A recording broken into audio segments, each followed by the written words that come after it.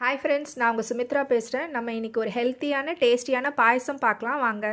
இந்த பொருளெலாம் நம்ம குழந்தைங்க வெறும்னா கொடுத்தா சாப்பிட மாட்டாங்க. நம்ம இப்போ பாயசமாக பண்ணலாம். அதுக்கு தேவையானது அரை லிட்டர் பால் கால் கப் பால் பவுடர் அரை கப் சேமியா ஒரு பதினஞ்சு உலர்ந்த திராட்சை ஒரு ஏழு எட்டு முந்திரி முழு முந்திரி அஞ்சு டேட்ஸ் சீடு எடுத்து வச்சுருக்கேன். ஒரு ஆறு பாதாம். இது வந்து உங்களோட ஆப்ஷனல் உங்களுக்கு எவ்வளோ தேவையோ பண்ணி போட்டுக்கோங்க. இது ஒரு நாலுலேருந்து அஞ்சு பேர் சாப்பிடலாம். இப்போ எல்லாத்தையும் அரைச்சிடலாம். நான் ஏலக்காய் அப்போ சொல்ல மறந்துட்டேன். ஒரே ஒரு ஏலக்காய் போட்டுக்கலாம். டேட்ஸை வந்து ஒன்று ரெண்டாக பிச்சு போட்டுருங்க. ஏன்னா நல்லா அரைப்படணும் இல்லைங்களா? அதனால். எல்லாத்தையுமே அந்த மாதிரி ஒன்றும் பாதியமாக உடச்சி போட்டுருங்க. முந்திரியும் அதே மாதிரி ஒன்றும் பாதியமாக பிச்சு போட்டுருங்க. இது வந்து நார்மலாக நாலஞ்சு பேர் குடிக்கிறதுக்கு நல்லா இருக்கும். இதுக்கு மேலே போட்டிங்கன்னா திகட்டலாம் இருக்கும்.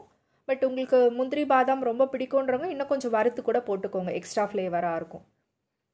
இது ரொம்ப ஹெவியான இது தான் குழந்தைங்களுக்கு ஈவினிங்கில் ஸ்நாக்ஸ்க்கு கொடுக்கறதுக்கு ரொம்ப நல்லாயிருக்கும் கெஸ்ட் வந்தாங்கன்னா கூட கொடுக்கலாம். டிஃப்ரெண்ட்டாக இருக்கும். பாயசம்லேயே இது கொஞ்சம் டிஃப்ரெண்ட்டாக இருக்கும். கிஸ்மிஸ் போட்டுக்கிறோம்.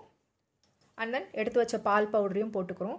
இதை வந்து ட்ரையாக நல்லா கிரைண்ட் பண்ணி எடுத்துக்கலாம். நல்லா பவுடராக ஒரு சின்ன பாத்திரம் வச்சு அது காயட்டோன்னிட்டு அதில் ஒரு ஸ்பூன் நெய் விட்டுக்கலாம். இந்த நெய் வந்து வீட்டிலையே காய்ச்சினது. ஆல்ரெடி நான் இதை வீடியோ போட்டிருக்கேன். தெரியாதவங்க போய் பார்த்துக்கோங்க நெய் வந்து கொஞ்சம் மெல்ட் ஆகட்டோன்னிட்டு நம்ம அரை கப் சேமியா எடுத்து வச்சுருக்கோம் இல்லையா? அதை இதில் போட்டுக்கலாம்.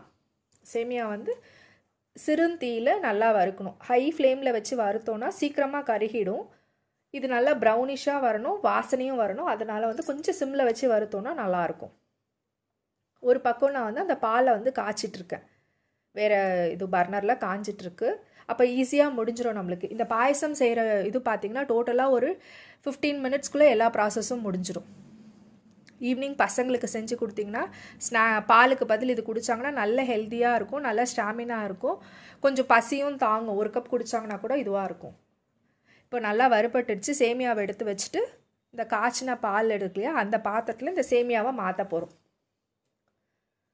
வறுப்பட்ட சேமியா நல்லா ப்ரௌனாக வறுப்பட்ட சேமியாவை இந்த ப காய்ச்சின பாலில் கொட்டிக்கலாம்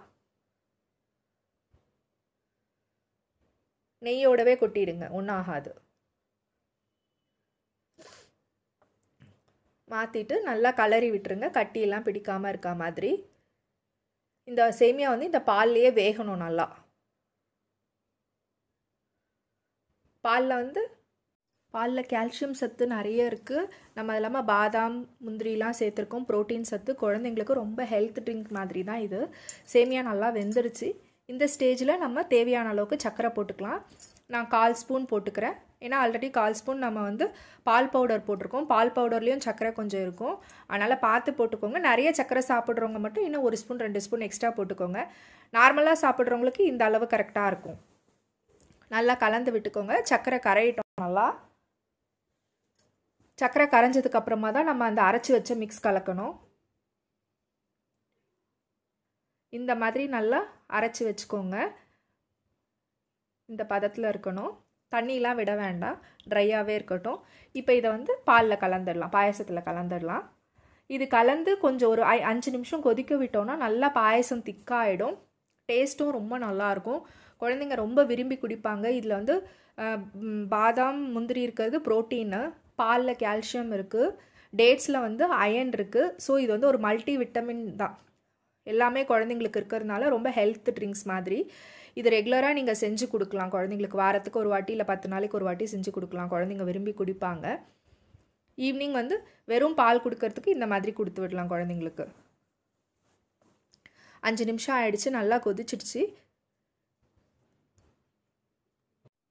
அஞ்சு நிமிஷம் நல்லா கொதிச்சிடுச்சு நம்ம பாயசம் ரெடி ஆகிடுச்சு இது ஆஃப் பண்ணவுடனே இன்னும் நல்லா திக்காகிடும் இது ஆல்ரெடியே கொஞ்சம் திக்காக தான் இருக்குது இந்த சைட்லலாம் எடுத்து விடுங்க.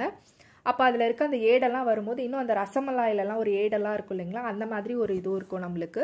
சாப்பிட நல்லாயிருக்கும் இதில் வந்து தேவைப்படுறவங்க கொஞ்சம் குங்குமப்பூ இருந்தால் போட்டுக்கோங்க. அதுவுமே ஒரு மாதிரி கலர்ஃபுல்லாக இருக்கும்.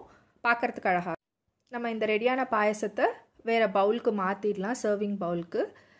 இது உங்களுக்கு பிடிச்சிருந்தா லைக் பண்ணுங்கள் உங்கள் ஃப்ரெண்ட்ஸ்க்கு ஷேர் பண்ணுங்கள் என் சேனலை சப்ஸ்கிரைப் பண்ணுங்கள் எதனா டவுட் இருந்தால் கேளுங்கள் பாய்